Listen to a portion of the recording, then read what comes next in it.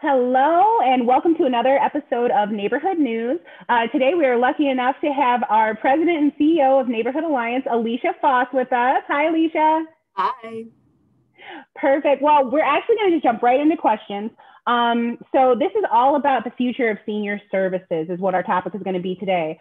So Alicia, share with us, how has COVID-19 impacted senior enrichment services? Sure. Um, so COVID-19 has had a pretty significant um, impact on all of our service, but in, in particular on senior enrichment. Um, you know, we have two areas of senior enrichment services that we mainly focus on, and that's our home delivered meals program, and then there's the supportive services and the socialization side of it as well. Uh, for senior nutrition, I think the, the biggest impact is in how our services are being delivered to our participants, uh, where before it was more of a um, in person, you know, we could talk to them and really spend some time with them um, and have that socialization aspect at the front door as we're delivering the meal. Uh, it's a little bit less of that now, um, and we're trying to do this as contact free as possible, of course. Um, so our delivery drivers are uh, going to the door and, you know, knocking on the door. They have to see the participant in order to leave the meal, but there's not as much of that social interaction the social interaction for senior enrichment actually comes in the form of a wellness check. And so, in addition to delivering the meals, our uh, senior enrichment employees are calling the seniors and checking in on them to make sure that they're doing okay. Um, just sort of doing that wellness check as a phone call instead of in person, and then talking with them about what do they need? Is there anything that they're not getting that they need? Essential supplies, uh, additional food, anything like that that we can drop off, and then we can bring those items to them and deliver them along with their meal later in the week.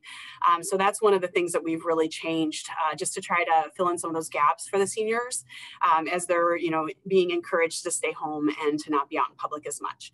Then, in addition to that. Um, you know, we also, with the socialization side of it, um, and our, our senior center that um, was out in Oberlin, um, you know, that's been closed since the beginning of the pandemic. And, um, you know, we did some interesting things right at the beginning of the pandemic with our senior enrichment services in closing uh, the senior center. We actually closed that before the mandate came down for the safety of our seniors.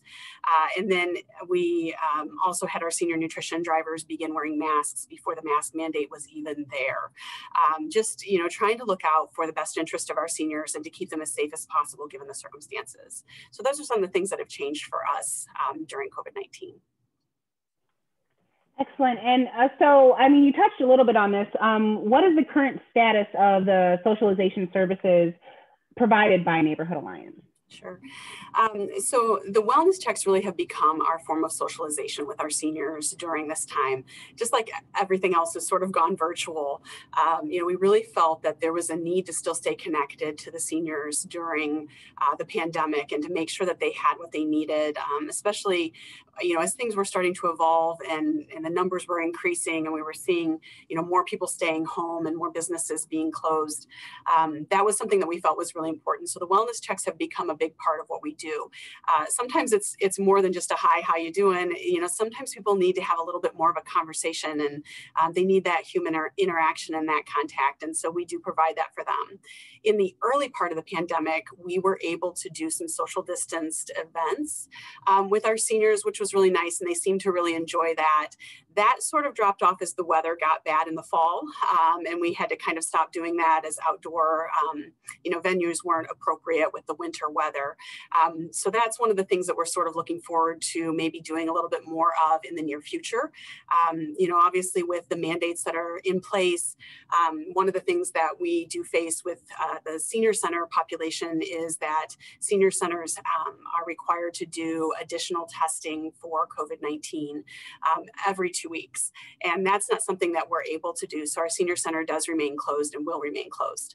Um, one of the things that we are looking forward to, though, with, with the socialization side of it, is being able to begin planning different events and things that can take place that don't involve the physical location.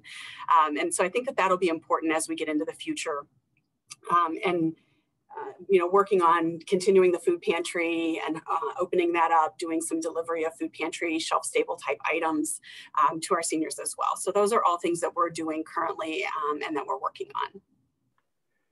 Okay, and um, so going forward uh, with senior socialization services and neighborhood alliance, um, how do you how what's the plan? What do what do you what are you planning on doing next? I know you got some ideas of course. Uh, we have lots of ideas, and we're exploring a lot of different options. But I think the big change that's going to um, going to be taking place, and it's already started the transition, is that we're going to be bringing all of our senior enrichment services under the umbrella of senior enrichment services. Where before it was sort of separated out into, you know, we've got the Oberlin Senior Center, and then we've got senior nutrition the, the two programs are sort of merging um, and, and falling under that umbrella of senior enrichment services. And the, the goal of this is to be able to provide more services in more locations. And so we have some uh, college students that we've engaged that are helping us research what are some of the options? What are the needs of the seniors? How have the needs changed due to the pandemic?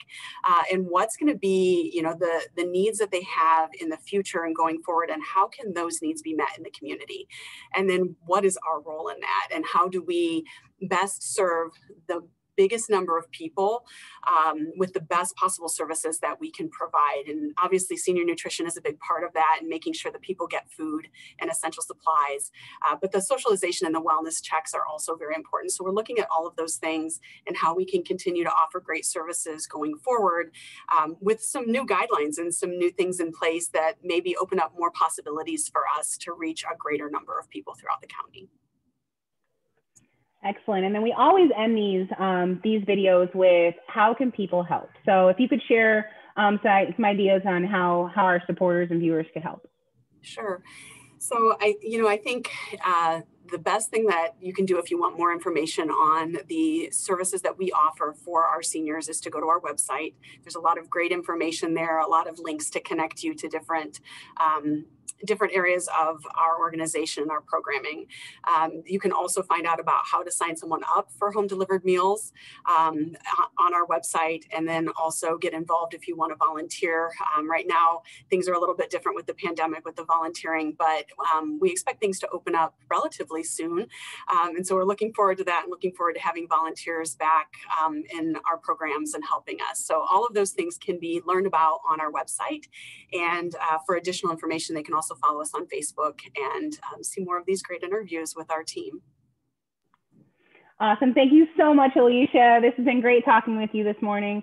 Um, again, supporters, volunteers, um, if you would like to find out more information, our website is www.myneighborhoodalliance.org. It'll also be linked in the bio. And um, if you have any other questions, definitely follow us on Facebook, Twitter. Um, there's more of these videos on YouTube. Um, we're all over the place. So thank you. Bye, Alicia. Thanks. Bye.